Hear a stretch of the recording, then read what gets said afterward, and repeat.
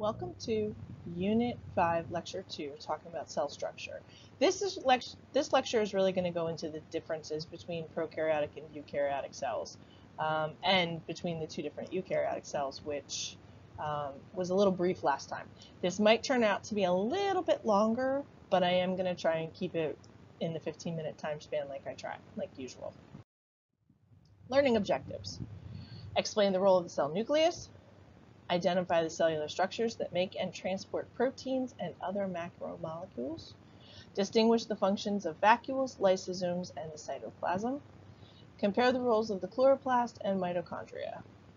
Describe the role of the cell membrane. Eukaryotic cells are basically any organism that isn't bacteria. So we have two types, We've got animal cells and plant cells. And you can kind of see in a lot of ways they're very similar. Okay, just a few big differences. The central vacuole, the chloroplasts, the cell wall, okay, and then these centrioles, which we'll get a, a little bit more into later. The nucleus is the control center. This is where most of the directions come from. This gives animal cells and plant cells um, this houses all the DNA, and this tells the cell how to function, what to do, when to do it, control. It, it basically controls everything. It's got a few different pieces. So it's a it's got a nuclear envelope, which is basically like a membrane on the outside, holding all of the DNA together. It's got the nuclear pores because there is some stuff that goes in and out of the nucleus, not necessarily the DNA, but other things, other molecules. There's the chromatin, which is basically a fancy name for D another name for DNA. This is when it's unwound, okay, and it's doing its job. Okay, so this is when the nucleus is just functioning, the cell is just living. And then the nucleolus, which is um, kind of like the special heart of the cell, uh, heart of the nucleus that makes ribosomes and makes ribosomal RNA. It's a special kind of RNA. Uh, don't necessarily have to worry about that, but that's what happens. The big job of the cell, okay, is to make proteins. If you remember um, from the beginning of Unit 4 when we talked about all of the different macromolecules, there are eight types of proteins. The eight types of proteins basically boil down into doing every single thing that happens in your body for the most part. Um, and so the big I don't want to say 90%, but a lot of what the cell is doing is making proteins to make things happen or to stop things from happening, to cause your hair to grow, um, to cause your hair to stop growing, to, you know, so it's a lot. so there are some basic steps to how proteins get made. And it almost all, not almost, it always starts in the nucleus, okay? The directions come out of the nucleus into the ribos um, onto a ribosome. Now ribosomes can either be on the rough endoplasmic reticulum, okay, or in the cytoplasm itself, depending on what kind of ribosome you're talking about and what kind of protein you're making. And these ribosomes can actually float back and forth between these two. But proteins are assembled on a ribosome, okay? If that's all they need to do, they can go off and do their job. But that's not, uh, the majority of them, that's not what happens. Okay? The next step is they go to the Golgi apparatus. Right? So they leave the ribosome right, and are carried to the Golgi apparatus in a transport vesicle. The Golgi apparatus is a lot like um, UPS. Okay, it takes the rough draft and then finalizes it, uh, folds it, adds a few more molecules, puts some tags on it, like GPS tags to tell it where to go in the cell or where to go in the body or whatever. Okay.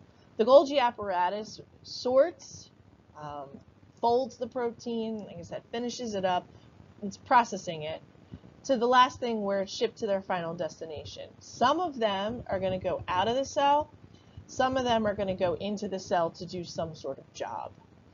But that's the main, um, like I said, most of what your cells are doing is building proteins to make things happen. Next comes the vacuole. Vacuoles, there are, for the most part, vacuoles we associate with plant cells. All right, animal cells have vacuoles, but they're usually a lot smaller, mostly because animal cells aren't storing anything. Um, central vacuoles in plant cells are used for storage, okay, whereas other vacuoles in animal cells can be used for storage or this special contractile vacuole, which is basically a water cannon. It takes excess water and then um, it stores it for a little while and then spits it out. Um, usually find this in freshwater protists. Okay, and what they can do is they can actually, because what it does is if they have too much water, it'll end up causing them to explode, uh, to burst, which you'll see in the next lecture. Um, but yeah, so without that contractile vacuole, um, the water ends up staying there and ends up um, would cause problems for the cell. Whereas the plant cell actually wants to store that water, all right, whereas animal cells don't.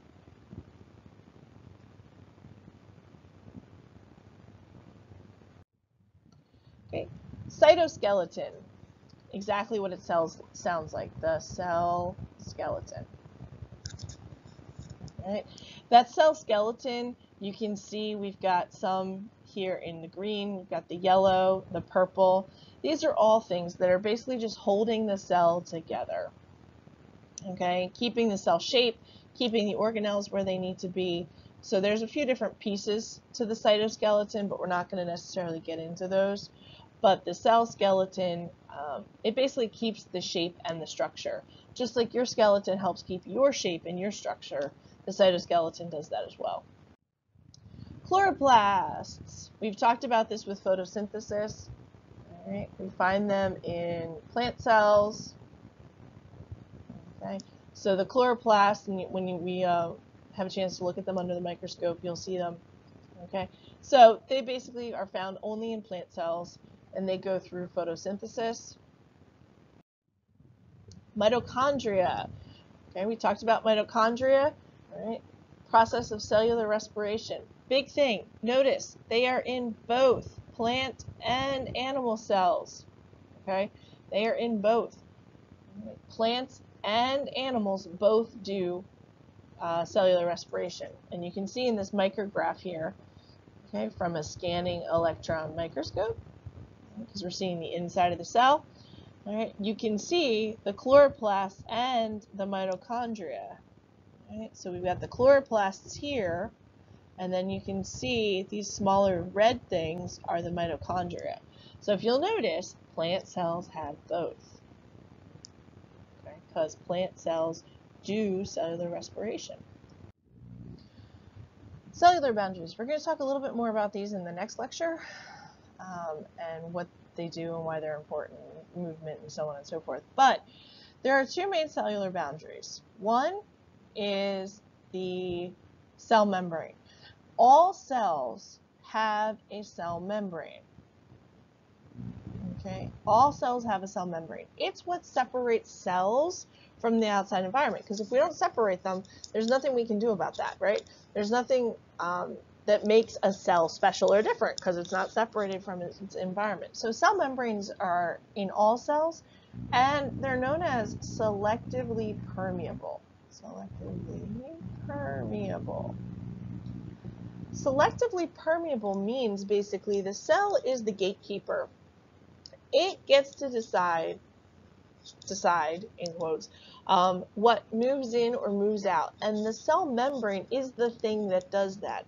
So it lets some molecules through the cell membrane, lets some molecules uh, in or out, depending on what they are, but doesn't let everything in or out because it's a barrier, it's a protection. We don't want viruses in if we can avoid that. We don't want bacteria in if we can avoid that. Okay, um, and so that cell membrane is kind of gets to pick. The other boundary is the cell wall. Now you'll only find cell walls in prokaryotic cells or plant cells. And this is basically just to give it a little more support, especially when it comes to a plant cell. Plants, if you think about them, they stand all day. They don't do much. Okay, they do a lot, but movement wise, but they don't have any bones. They don't have anything to hold them up. So the cell wall kind of acts like walls in a building that actually help hold the roof up.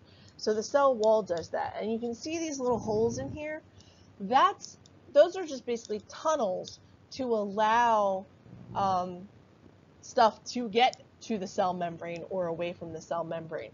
Because if that was a completely sealed up wall, all right, you couldn't get in or out, it wouldn't really be helpful. So those are kind of like the doors or the windows, and they are known as plasmodesmata. It's one of my favorite biology words, plasmodesmata. It's just so much fun to say um, because those are the holes that actually allow them to move in or out or allow other things to move in and out. So they're just kind of like points in the cell wall that allow like a door to happen or a window to happen. Um, so they don't destroy the integrity of the cell wall, but still allow movement through the wall. Okay, cell membranes have a really, really, really specific structure, okay, to function and make that selectively permeable happen. Or permeability, I guess you could say, happen. All right, so there's a few different pieces here. So one, the blue area is the outside of the cell, the yellow orangish area is the inside of the cell. Okay, all of these little things are made up of phospholipids. These are special lipids, okay, fats. They're special lipids that actually basically create the bulk of the membrane. Most of the membrane is made up of these phospholipids. Then, so you can see they've got a hydrophilic head and a hydrophobic tail. So hydrophilic likes water, hydrophobic doesn't like water. So the hydrophobic tails kind of go together like a sandwich, okay? And they point towards each other because they're both hydrophobic. They don't like water, so they stick to each other, all right? And then the hydrophilic star stuff kind of sticks to the outside where you're going to find the more uh, watery-like substances. And then what that does is that kind of creates a little maze for, um, creates a little maze for things to try and get through. So it makes it a little bit harder for certain things to get through the cell membrane and makes it easier for other things. Then you've got a variety of membrane proteins. So you can kind of see this is a membrane protein, and they do a lot of different jobs. That's a membrane protein. Okay, um, they can be tunnels, tubes like this one to let things in or out. They can be, um, they can receive messages that cause changes inside the cell. They can do lots of different things. And then the last piece is carbohydrate chains. These are ID tags. Right? They actually ID the cell. So they say, hey, this cell belongs to Ms. Nowicki, or this cell belongs to so-and-so. These are really important for whenever you hear about somebody looking for a quote-unquote match for an organ donation, this is a lot of times what they're talking about because the carbohydrate chains, if they don't match, what happens is that's a that's information for your immune system to come after that cell and start attacking it and destroying it. So with organs, if it doesn't match, what happens is your immune system tries to actually destroy the organ um, because it doesn't think it belongs there. All right, so that's what those carbohydrate chains are for. All right, have a great day.